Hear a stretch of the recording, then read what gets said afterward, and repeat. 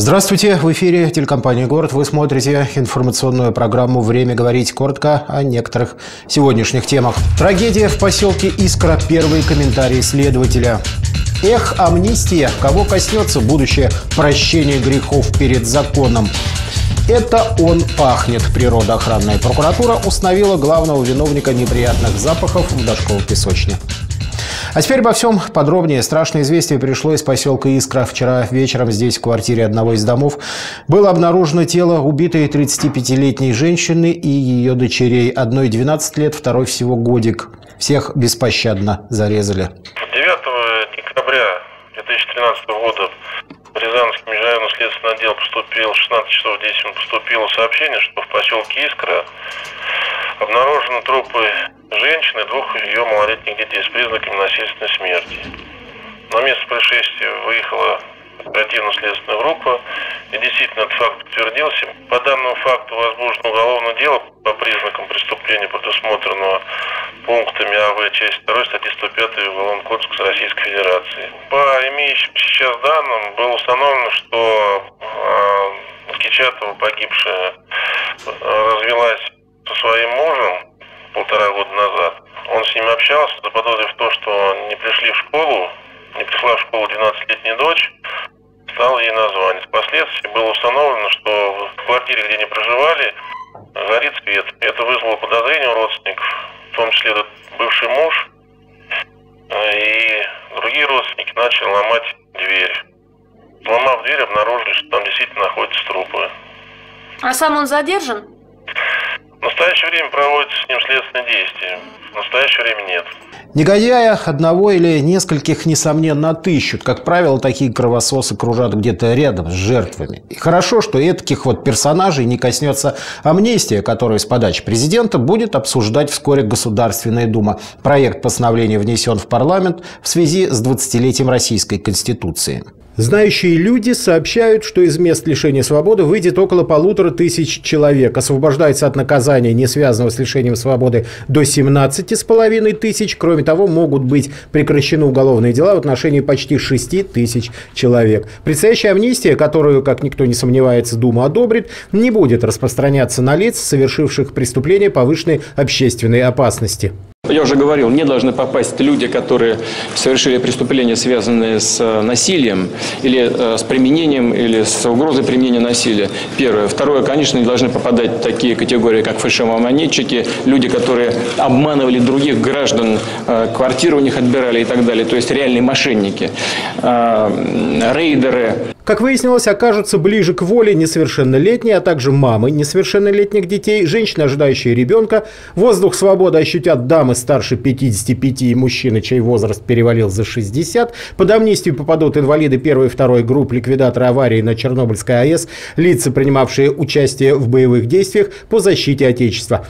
Напомним, последняя амнистия в России была объявлена в 94-м. Тогда под нее попали, в частности, участники августовского путча 91 года и октябрьских событий 93-го. Всего из мест заключения тогда вышли 23 тысячи человек. 13 тысячам был сокращен срок наказания. Прекращены дела в отношении более 30 тысяч граждан. Продолжаем программу. Как известно, Рязанская природоохранная прокуратура после официальной проверки четко установила главного автора сильной, пардон, техногенной вони в районах Песочни и Турлатова. Это Рязанская нефтеперерабатывающая компания. Сегодня репортаж на уже давно не новую, но, к сожалению, всегда актуальную тему. Жители поселка Турлатова и Рязанского микрорайона Дашкова песочни уже много лет мучаются от невыносимого запаха, доносящегося со стороны нефтезавода. Скажите, пожалуйста, вот от нефтезавода запах идет? Иногда бывает. Вот, ну, не надоело вам Да, по утрам надоело очень. Спасибо. Все болеем из-за этого. Каждую э, субботу и воскресенье бывает. Особенно вот там, где четвертый квартал. Ну невозможно дышать, проникает через окна, через балкон. Это что-то невозможно. Надо какие-то меры принимать. Неприятно, осадок на шторах, это все ужасно, семья волнуется. Надо как-то это прекращать. На днях Рязанская природоохранная прокуратура завершила проверку и обобщила результаты мониторинга воздуха. У Министерства природопользования и экологии Рязанской области, у администрации города есть э, передвижные экологические лаборатории, стационарные посты наблюдения. Так вот, на данных э, лабораториях фиксировались превышение предельно допустимой концентрации э, такого загрязняющего вещества, как сероводород. Причем регистрировалось постоянно в дневные часы, в ночное время, в праздники, в будни. Также поступали, конечно, многочисленные жалобы от населения, преимущественно с поселка Турлатова, именно на неприятный э, запах. В связи с чем было принято решение провести прокурорскую проверку. Причем э, Ситуация осложнялась тем, что непосредственно на поселок Турлатово, на Дашкову песочную частично, на негативное воздействие э, оказывают сразу несколько предприятий, которые расположены в Южном промузле. Были выявлены нарушения практически э, у каждого предприятия, которое проверялось, но тем не менее эти нарушения ну, не имели связи с загрязнением атмосферного воздуха именно сероводородом в поселке Турлатово. Межведомственные комиссии были проверены проверены практически все предприятия Южного промузла на наличие наиболее вредоносных выбросов. Лидером среди загрязнителей является предприятие ЗАО РНПК. Было принято решение, что э, необходимо пр проверить именно нефтеперерабатывающий завод. А, при этом была изучена разрешительная документация предприятий, которые расположены в Южном промузле. Было установлено, что именно а, даже в норме именно это предприятие вносит наибольший вклад в состояние загрязнения по сероводороду из тех предприятий, которые там расположены. Наибольший вклад а, вносят источники, которые расположены на очистных сооружениях нефтезавода, именно наибольший вклад по сероводороду. Было сделано предположение, что на очистных сооружениях есть несанкционированные источники выбросов, на которые отсутствуют разрешительные документы, которые э, отсутствуют в материалах инвентаризации, то есть э, которые вообще, э, их вклад негативный вообще не учтен при выдаче разрешительных документов, при установлении нормы, которую предприятие не может превышать. Это недопустимо, это нарушение. Нарушители должны быть наказаны, а причины и последствия загрязнения устранены, иначе все эти, прямо говоря, затратные действия в виде проверок и анализов так и останутся холостым выстрелом из бумажной пушки, чего никому из нас, простых горожан, совершенно не хотелось бы. Среди официальных мероприятий в Рязани сегодня отмечена встреча на высоком региональном уровне, посвященная 20-летию Конституции и вручение паспортов юным рязанцам в зале торжественных приемов регионального правительства. Обо всем Глеб Галушкин.